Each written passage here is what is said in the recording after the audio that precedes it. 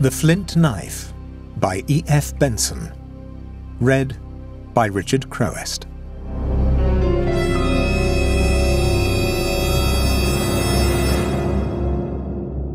We were philosophizing about gardens, Harry Pershaw and I, as we sat one warm, serene June evening on the lawn outside his house, and the text of our observations was the scene in which we talked. The Pershaw house, at which I had arrived that afternoon, was set in the very centre of a little country town.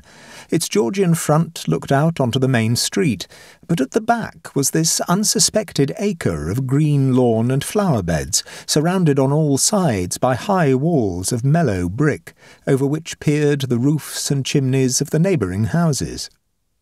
To me, weary of the heat and roar of London, it was indescribably delightful to sit, cool and at ease, in this green place, which to the inward sense seemed soaked in some peculiar tranquillity. Just as old houses have their atmosphere, which has been distilled from the thoughts and the personalities of those who have inhabited them, so this garden seemed to me to have absorbed into the very soul of it the leisure of the generations whose retreat it had been. It was, I said, as if the spirit of that leisure had soaked into the darkling garden where we sat.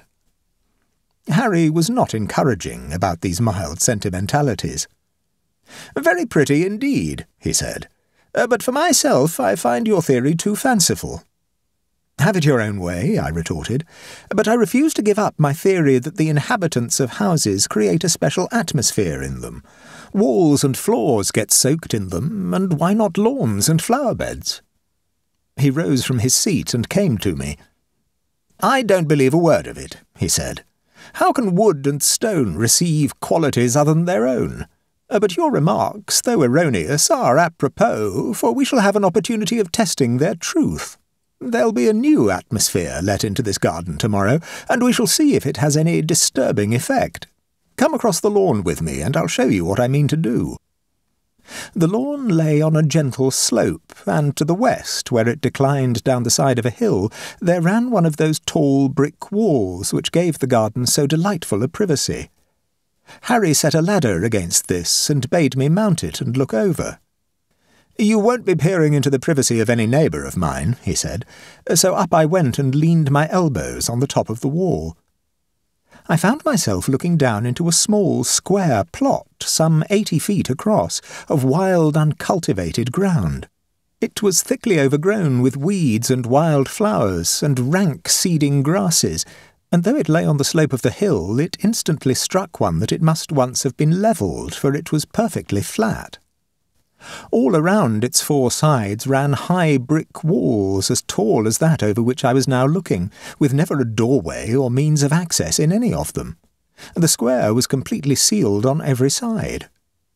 It had been grilled, of course, all day in the blaze of the sun, with not a breeze to stir the enclosed atmosphere, and now it was like leaning over a furnace, so heated was the air that met my face. Though the place lay naked to the sky, this warmth was not like that of the open.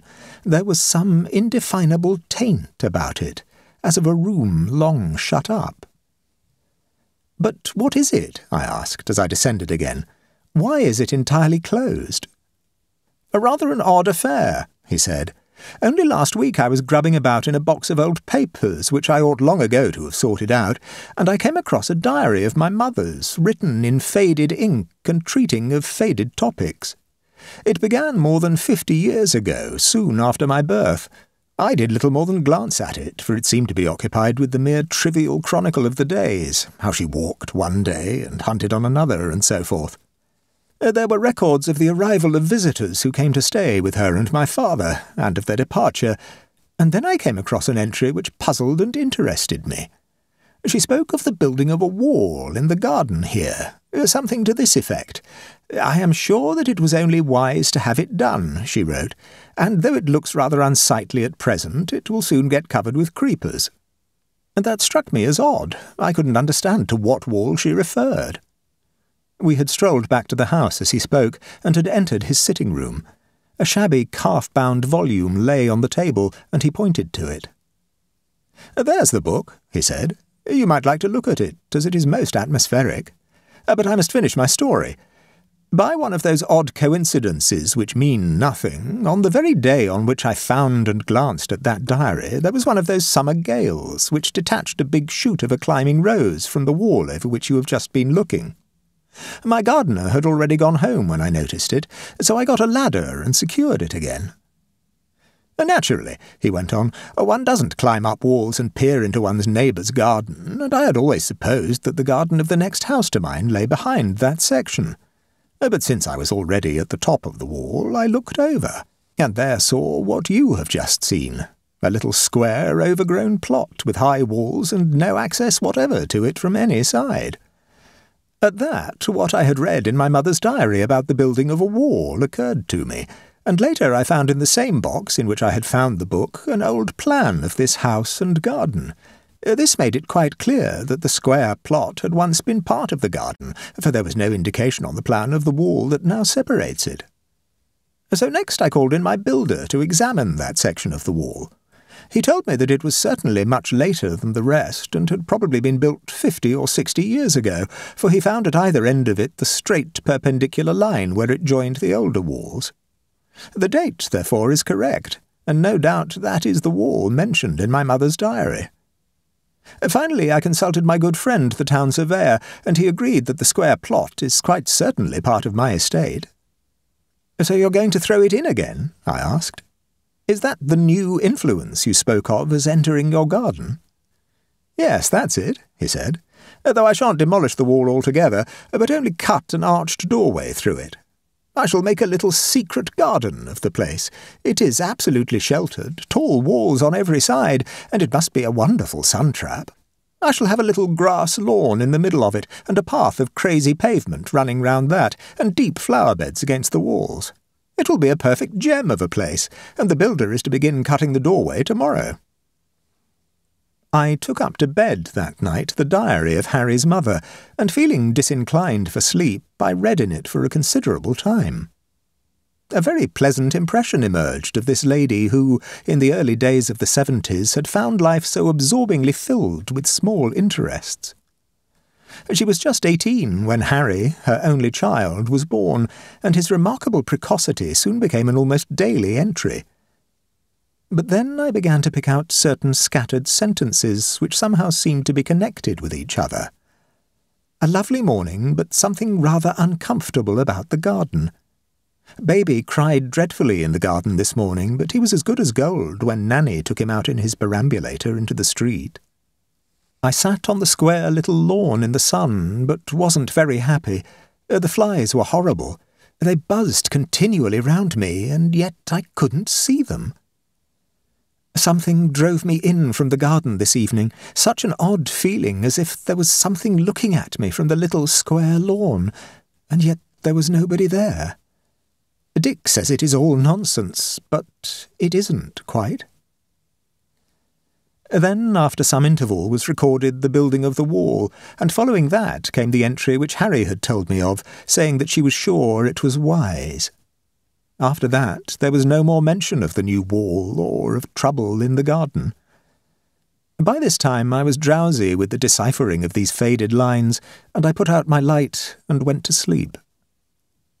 Now, dreams are, of course, only a nonsensical medley of impressions lately received, or of those which in some stirring of the subconscious mind break like bubbles on the surface of the sleeping senses so it was no wonder that I had vague and disquieting adventures in the garden after I had fallen asleep. I seemed to be out there alone in some cloudy twilight. The wall over which I had peered that evening was gone, and in the centre of the small lawn that lay beyond was standing a tall, upright figure towards which my steps were drawn. In this veiled dimness I could not make out whether it was a man or some columnar block of stone. But the terror that began to stir in me was mingled with a great curiosity, and very stealthily I advanced towards it. It stood absolutely still, and, whether stone or flesh and blood, it seemed to be waiting. There was the sound of innumerable flies buzzing in the air about me, and suddenly a cloud of them descended on me, settling on my eyes and ears and nostrils, foul to the smell and loathsomely unclean to the touch. The horror of them overpowered my caution, and in a frenzy I beat them off, still keeping my eye on that silent figure. But my movements disclosed its nature. It was no stone column that stood there, for it slowly raised an arm and made passes and beckonings to me. A stricture of impotence was closing in on me, but the panic of sheer nightmare broke in on my dreams, and suddenly I was sitting up in bed, panting and wet with terror. The room was peaceful and silent.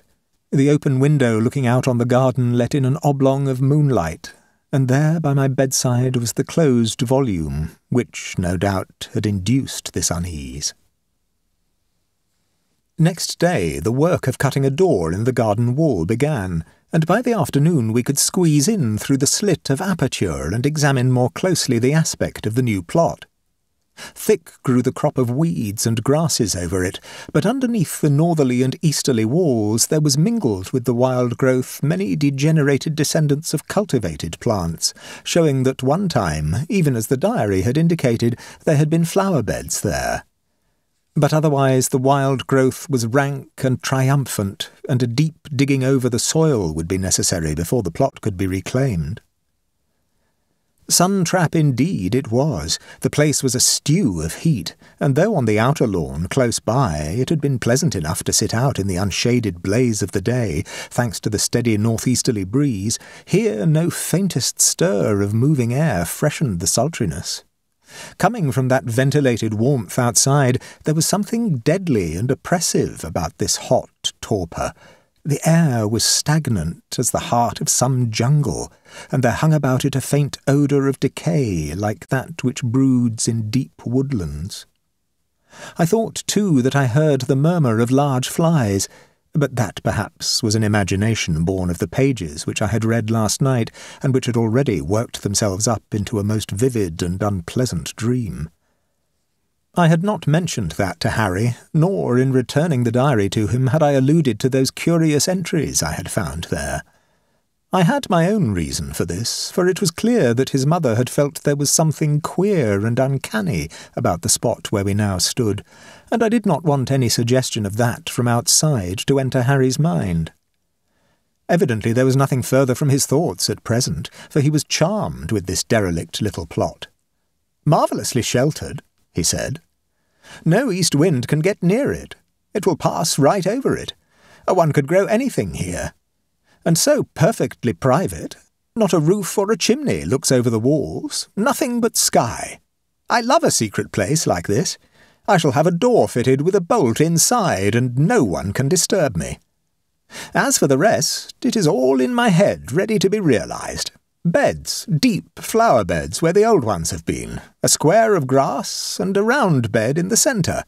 I can see it. It will turn out precisely as I want it. Next morning, while the bricklayers were finishing the doorway, Harry got in a couple of men in addition to his gardener, and all day barrowfuls of weeds and grasses were carted away for burning. The position of the flower beds was staked out, and that of the path, but all had to be deeply dug in order to get rid of the burrowing roots of the old vegetation before the crazy pavement and the turfs of the lawn could be laid down. That afternoon, as I lazed in the hot sun, Harry came out from his labours, hot and grimed, and beckoned to me. Come here, he called. We've hit upon an odd thing, and I don't know what it is. Bring your archaeological knowledge to bear. It was indeed rather an odd thing. A square column of black granite, some four feet high and about eighteen inches across. In shape, it somewhat resembled one of those altars which are not uncommonly seen in collections of Roman remains. But this was certainly not Roman. It was of far ruder workmanship and looked far more like some druidical piece. Then, suddenly, I remembered having seen in some museum of early British remains something exactly like it. It was described as an altar of sacrifice from an ancient British temple. Indeed, there could be no reasonable doubt that this stone was of the same nature. Harry was delighted with this find. Just what I want for the centre of my flower bed in the middle of the lawn, he said. I've got the place marked. Let's haul it into position at once. I'll have a sundial on the top of it, I think. I was strolling that evening in the garden waiting for Harry to come out. The sun had just set behind a bank of stormy red clouds in the west, and as I came opposite the yet doorless archway into the new plot, it looked exactly as if it was lit by some illumination of its own. The tall black altar now in place glowed like a lump of red-hot iron, and as I stood there in the doorway, wondering at this lurid brightness, I felt something brush by me, just touching my shoulder and left side in its passage. This was startling, but there was nothing visible, and immediately I heard, this time without any doubt whatever, the sonorous hum of many flies. That certainly came from the new garden, and yet in the air there was no sign of them. And simultaneously with both these invisible impressions, there came to me a sudden shrinking and shuddering of the spirit, as if I were in the presence of some evil and malignant power. That came and went. It lasted no longer than the soft touch of the invisible thing that had pushed by me in the doorway, or that drone of hovering flies. Then Harry appeared, coming out of the house and calling me to our usual diversion of piquet, which we both enjoyed playing. The laying of the lawn and the replanting of the old beds went on with great expedition, Strips of turf from the downland were plastered onto the fresh-turned soil and rolled and watered, while against the walls for autumnal flowering Harry planted sunflowers, dahlias, and Michaelmas daisies, and in the bed around the black column a company of well-grown young salvias. A couple of days sufficed for this, and one evening we strolled down there in the dusk, marvelling at how well the turf was taking, and how vigorous and upstanding were the young plants. There were heavy showers that night. Blinks of lightning glared through my panes, distant thunder reverberated. And later, in the hot hours of darkness, I had to get up to close the window, for the rain was spattering on the carpet within. Having shut it, I stood there for a few moments, looking out onto the shrouded dimness and listening to the hiss of the thick shower on the shrubs outside. And then I saw something that curiously disquieted me. The door into the new garden had been fitted that day, but it had been left open. The archway was thus visible from my windows, and now it stood out in the darkness as if there was light within. Then a very vivid flash zigzagged across the sky, and I saw that in the doorway there was standing a black-draped figure. It seemed hardly credible that a human being had got into the garden. Why should a cloaked and living man be standing out there in the storm? If he was a burglar, why should he be waiting out there, for the house had long been wrapped in quiet? And yet, supposing that in the morning it was found that someone had broken into the house, I should cut a very foolish figure if, having seen him before any damage was done, I went tranquilly back to bed again without investigation. But I know that I did not really believe this was a man at all. What, then, was to be done? I decided that I would not wake Harry until I had carried my investigations a little further by myself, and I started to go downstairs. But as I passed Harry's door, I saw a chink of light underneath it, and then a loose board creaked under my foot, and next moment he came out. What is it? he asked. Did you see it, too? Someone coming across the lawn from the new garden? Uh, look here, I'll go out by the back door into the garden, and you go through the dining room. Uh, then he'll be between us. Take a poker or a big stick with you.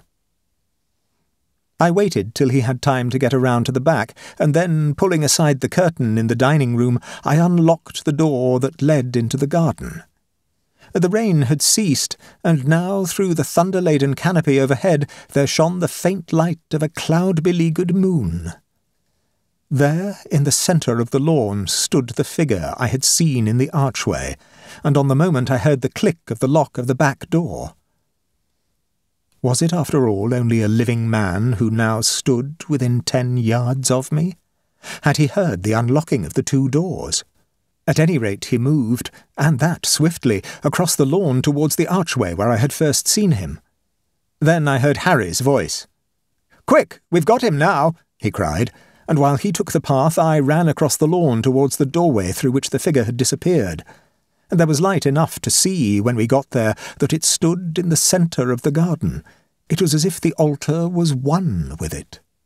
Then a near and vivid flash of lightning burst from the pall overhead and showed every corner of the high walled plot. It was absolutely empty, but the stillness was now broken by the buzzing of innumerable flies. Then the rain began, first a few large hot drops, then the sluices of heaven were opened, and before we could regain the house we were drenched. Of all the men I have ever known, Harry Pershaw has the profoundest disbelief in the unseen and the aware, and in the few minutes of his talk before we turned in again, and at breakfast next morning, he was still absolutely convinced that what we had both seen was real and material, not ghostly. It must have been a man, he said, because there's nothing else for it to be. And after all, the walls are not unscalable for an active fellow. Uh, certainly we both thought we saw him in the centre of the garden, but the light was dim and confusing, and I haven't the slightest doubt that we were both staring at the altar while he was shinning it up the wall. Come down and look. We went out. The garden was still dripping with the rain of the night, but the vigorous salvias planted yesterday in the bed around the altar were scorched as if a flame had passed over them. Withered, too, though not so sorely burned, was the new-laid grass, and the sunflowers and Michaelmas daisies were drooping and yellow of leaf. It was as if some tropic day, instead of a warm night with copious showers of rain, had passed over them, or rather as if from the altar had emanated some withering ray, completely scorching all that lay nearest to it. But all this only stiffened Harry into an angry stubbornness when I asked him what explanation he offered. Good Lord, I can't tell you, he said. But you've got to find the connection between a man who popped over the wall and my poor withered plants. I'll tell you what I'll do. I'll bring out a ground sheet and a rug and sleep here tonight, and we'll see if anyone comes round with a warming pan again. No, don't be alarmed. I'm not going to ask you to keep me company. That would spoil it all, for you might somehow infect me with your nonsense. I prefer a revolver. You think there's something occult and frightful at work. So let's have it. Bring it out. What's your explanation? I can't explain it any more than you, I said. But I believe there is something here in this garden, some power connected, I imagine, with that altar you found. Your mother also believed there was something queer and had the place walled up. You've opened it again and set the thing free, and I expect it's vastly intensified by your having disinterred that which lay buried. He laughed. I see, he said. An instance of your theory that material objects can absorb and give out force they have derived from living folk. Or, years ago, from the dead, said I. He laughed again. I really think we won't talk about it, he said. I can't argue about such monstrous nonsense. It isn't worth that much to me. During the day I made several efforts to dissuade him from his scheme, but it was perfectly fruitless. Indeed, I began myself to wonder whether I was not the prey of ridiculous imaginings, whether my mind was not reverting to the bygone beliefs and superstitions of primitive man. A lump of stone like that altar was just a lump of stone. How could it possess properties and powers such as those which I was disposed to attribute to it? Certainly that figure which we had both seen was difficult of rational explanation. So, too, was that withering and scorching flame that had passed over the garden. But it was a flight of conjecture, wholly unsupported, to suppose that a rough-hewn block of granite had any connection with them. My fears and forebodings receded and dwindled till they lay back in my mind, cloaked with the darkness that common sense spread round them, and became no more than a tiny spark smouldering there. And so it came about that when, about eleven that night, Harry went forth from the house with his pillows and blanket and ground sheet, a revolver in hand, to spend the night on the new-laid lawn, I soon went up to bed. The door from the dining room into the garden Harry had left unlocked, for again the night was thickly overclouded, threatening rain, and he laughingly said that though he would gaily face the fires of the powers of darkness, a downpour of common rain would certainly rout him and send him running for shelter. Throwing open my window, I leaned out into the night, and in the stillness heard Harry shut and bolt the door into the little garden. I went to sleep at once, and from dreamlessness awoke suddenly to a consciousness of terror and imminent peril. Without waiting to put on a coat or slippers, I ran downstairs and across the lawn towards the door in the wall. I stopped outside it, listening and wondering why I had rushed outside like that, for all was perfectly still. Then, while I stood there, I heard a voice, not Harry's, from within. I could not distinguish any words at all, and the tones of it were level, as if it were chanting some prayer. And as I listened, I saw above the wall a dim red glow, gradually brightening. All of this happened in a moment, and with some swift onrush of panic I called aloud to Harry and wrestled with the handle of the door. But he had bolted it from within. Once more I rattled it and shouted, and still only that chanting voice answered. Then, exerting my full strength and weight, I hurled myself against the door. It creaked, the bolt snapped, and it gave way, falling inward. And There met me a buffet of hot air tainted with some rank smell, and round me was the roar of hosts of flies. Harry, stripped to the waist, was kneeling in front of the altar. By his side stood a figure robed in black. One of its hands grasped his hair, bending his head back. The other, stretched out, brandished aloft some implement. Before the stroke fell, I found my voice. By the power of God Almighty! I yelled, and in the air I traced the sign of the cross. I heard the chink of something falling on the altar. The red light faded into the dusk of earliest dawn, and Harry and I were alone. He swayed and fell sideways on the grass, and without more ado I picked him up and carried him out past the shattered door and through the archway, not knowing yet if he was alive or dead. But he breathed still. He sighed and stirred like one coming out of deep trance. And then he saw me. You, he said. But what's been happening?